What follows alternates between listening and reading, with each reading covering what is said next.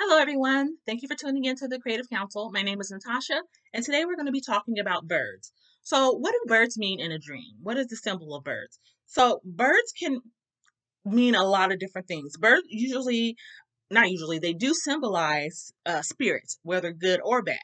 They have wings, they fly through the air.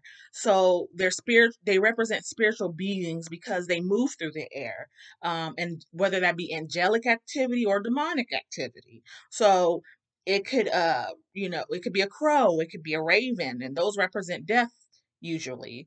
Um, it could be an owl and owls represent you know the prophetic or wisdom depending on the type. It also can represent um, witchcraft and the occult. So uh, it really depends. A dove represents the holy spirit.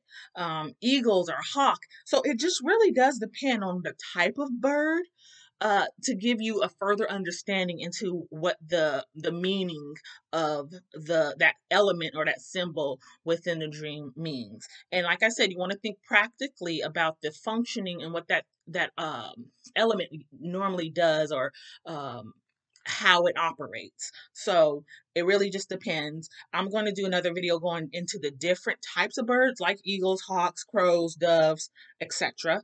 Um, so, but I just wanted to do overview of the meaning of birds in general. So, like I said, just to recap, they represent spiritual be- beings, good or evil. They fly through the air. They take flight through the air. That's that's their domain, and that is typically what they are representing in a dream.